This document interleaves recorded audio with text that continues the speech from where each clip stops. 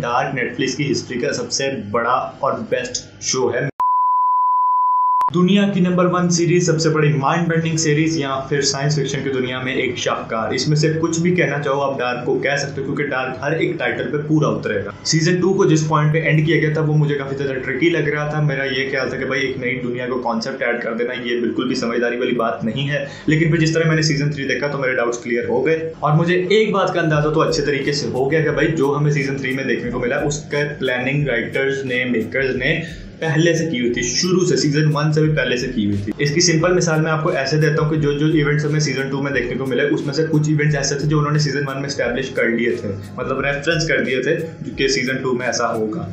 तो हमें वो देखने को मिला। तो सेम सीज़न थ्री में भी है जो जो इवेंट्स उन्होंने रेफरेंस किए थे सीज़न वन और टू में, वो हमें फाइनली इस सीज़न में देखने को मिले हैं। अब जिस तरह मैंने कहा कि जो जो इवेंट्स हमें इस सीज़न में देखने को मिले हैं, वो पहले से स्टैब्लिश कर दिए गए थे तो इसका तो ये मतलब निकलता है सिंपल के शो की जो राइटिंग और डायरेक्शन है, वो बहुत ज़बरदस्त है। लेकिन उसके बाद एक और क्वेश्चन निकल आता है कि क्या इसकी एक्टिंग भी वैसी ही है या नहीं? तो इसका जवाब ये है कि हाँ जी, पूरी की पूरी कास्ट में बहुत ज़बरदस्त एक्टिंग की है और मेरा ये ख्याल है कि ये जो सीज़न है, ये एक्टिंग डिपार्टमेंट में अभी तक का बेस्ट है। फिर इसका बैकग्राउंड स्कोर यार बहुत कम ऐसा होता है कि मुझे किसी मूवी या टीवी सीरीज़ का स्कोर इतना ज़्यादा पसंद आया और डार्क उनमें से एक है। इसका जो ओपनिंग थीम है ना ओपनिंग इंट्रो जिसमें डबल डबल चीज़ें चल रही है, पीछे गुड बाय चल रहा है, वो वाहिद इंट्रो जो मैंने आज तक स्किप नहीं किया। और मुझे बहुत ज़्यादा पसंद है ये गुड बाय सॉन्ग के एक बात तो ये कि यार ये सूट बहुत करता है डार्क जैसे टीवी सीरीज़ पे।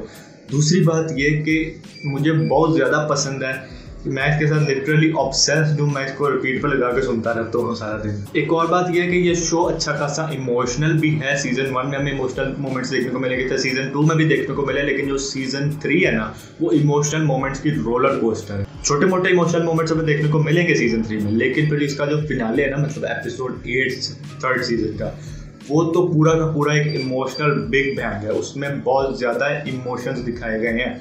और अगर आप ध्यान से देखोगे ना शुरू से इस सीरीज़ को तो आप लिटरली अपने आप को कनेक्ट कर सकते हो इमोशनली कैरेक्टर्स के साथ। मैं स्पॉइल नहीं कर रहा कि किसके साथ, लेकिन आपको लिटरली फील होगा कि ये कैरेक्टर क्या फील कर रहा है। और अगर मुझे कभी भी मौका मिलेगा ना टाइम में पीछे जाने का तो मैं उस टाइम पर जाऊँगा जब मैंने फ़र्स्ट टाइम डार्क को डिस्कवर किया था। वो जो सेटिस्फैक्शन थी ना पहली बार डार्क देखने के बाद जो खुशी मिली थी, वो एक्सप्रेस नहीं की जा सकती, वो एक्सप्लेन नहीं की जा सकती।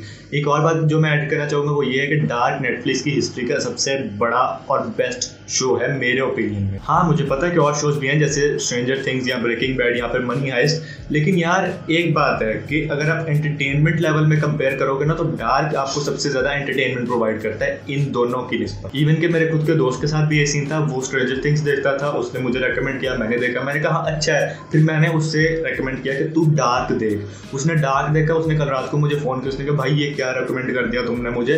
ये तो बहुत ज़्यादा टॉप की चीज़ है मतलब स्ट्रेंजर थिंग्स इसके आसपास की चीज़ भी नहीं है। खैर, ये मेरे और मेरे दोस्त का ओपिनियन है। अगर आप इससे अग्री करते हो या अग्री नहीं भी करते तो आप कमेंट सेक्शन में डाल सकते हो, कोई मसला नहीं। लेकिन एक बात जो आपको माननी पड़ेगी, वो ये है कि ये शो एक्सट्रीमली अंडर शो है और ये ज़्यादा पॉपुलरिटी डिजर्व करता है। लेकिन पता नहीं क्यों नेटफ्लिक्स भी इसके साथ कंजूसी करता है। मतलब आप खुद ही देखो नेटफ्लिक्स मनी हाइस्ट और स्ट्रेंजर थिंग्स को बकायदा इवेंट्स देता है फ़ैन इवेंट्स लेकिन डार्क के साथ वो सौतेलों वाला सलूक कर देता है कि भाई हाँ है बस शो तो है, हम क्या करें? और लिटरली मैं बहुत ज़्यादा खुश हूँ इस सीरीज़ के फिनाले से। मुझे नहीं लगता कि इससे बेहतर कोई फिनाले हो सकता था।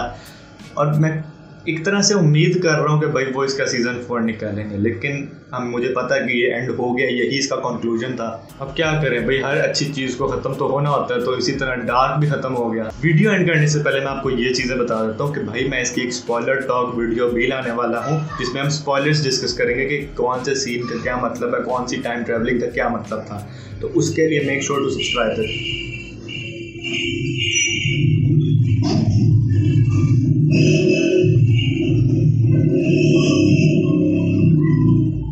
उसके लिए मेक श्योर कि आप मेरे चैनल को सब्सक्राइब कर लो और उसका बेल आइकन भी दबा दो ताकि आपको वो वीडियो का नोटिफिकेशन ज़रूर मिल जाए। तो ये था मेरा डार्क का सीज़न थ्री का स्पॉइलर फ्री रिव्यू आपको ये सीज़न कैसा लगा, ये मुझे कमेंट सेक्शन में बताओ। ये वीडियो अगर अच्छी लगी होगी तो इसको लाइक कर देना मेरे सोशल मीडिया हैंडल्स पर मुझे फॉलो कर लेना। लिंक आपको यहाँ पे भी मिल रहा है और डिस्क्रिप्शन में भी मिल जाएगा। मैं आपसे मिलूँगा नेक्स्ट वीडियो में, तब तक के लिए अपना बहुत सारा ख्याल रखना पाकिस्तान, जिंदाबाद।